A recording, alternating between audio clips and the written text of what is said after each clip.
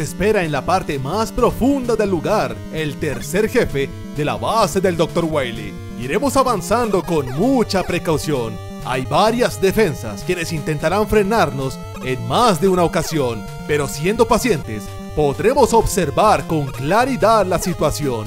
Dejan de atacarnos, habilitan un espacio para continuar descendiendo.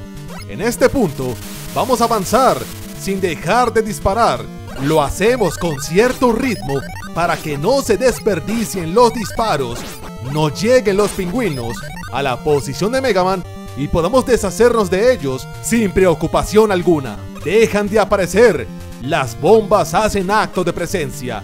Nos reservamos los disparos del arma principal, con solo saltarles por encima y antes de llegar a la habitación con un salto anticipado, aseguramos la salud de Megaman. Romperemos tres burbujas utilizando el Mega Buster.